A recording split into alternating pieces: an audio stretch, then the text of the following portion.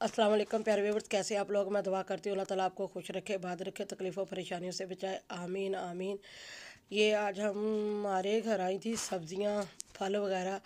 तो मैंने थोड़ा सा ब्लॉग बनाया है कि मैं, जैसे ही सर्दियों का मौसम आता है तो प्यारी प्यारी सब्ज़ियाँ मार्केट में आ जाती हैं। आलू, मटर, गाजरें, गोभी, शलजम वगैरह। तो ये सारी सब्ज़ियाँ सर्दियों में बहुत अच्छी लगती हैं। तो मैंने वेजिटेबल राइस बनाए हैं।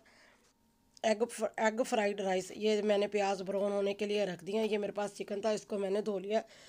ये भी प्याज़ों में शामिल करके इसको थोड़ा सा भून लेंगे, फिर इसमें शामिल करेंगे, चाइनीज़ नमक है मेरे पास, ये गरम मसाला है, थोड़ी सी सूंड है, जिसको कहते हैं थोड़ा सा गरम मसाला है, नमक है।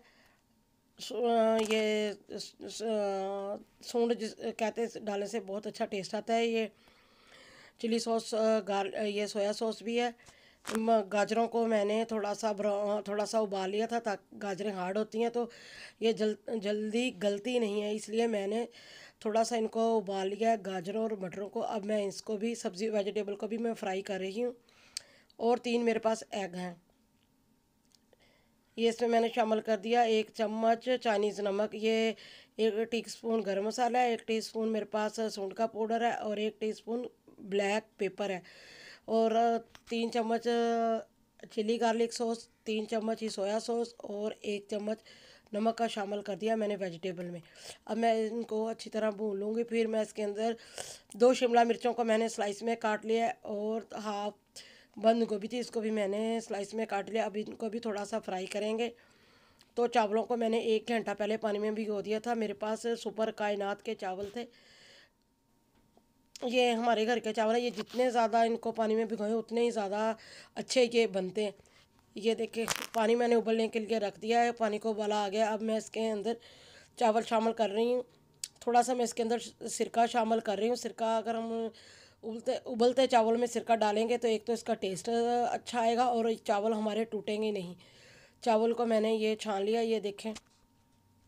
थोड़े से चावल कच्चे हैं, बाकी सारे चावल को मैंने कुक कर लिया अब इसके अंदर मैंने पतीले में चावल शामिल कर दिए हैं और फिर मैं इसके ऊपर जो मैंने वेजिटेबल बनाई हैं फ्राई की हैं, वो मैंने इसके अंदर शामिल कर दिया। मैं दूसरी लेयर चावलों की लगाऊँगी और मैंने तीन अदद अंडे ले लेंगे आग मैंने नीचे बिल्कुल स्लो रखी है, तवे के ऊपर मैंने पतीले को रखा है।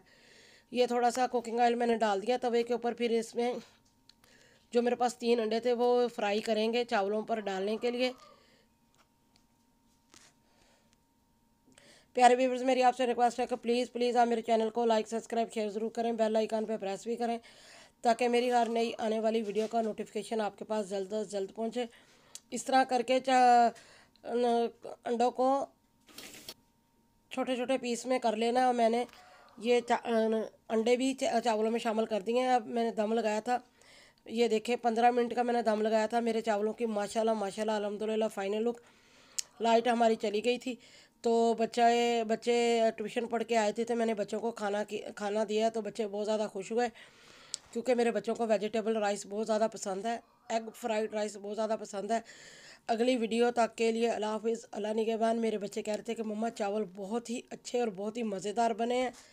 आप अपना और अपने बच्चों का बहुत ज़्यादा ख्याल रखें, मुझे भी दुआओं में याद रखें। अगली वीडियो तक के लिए अल्लाह हाफिज़, अल्लाह निगेबान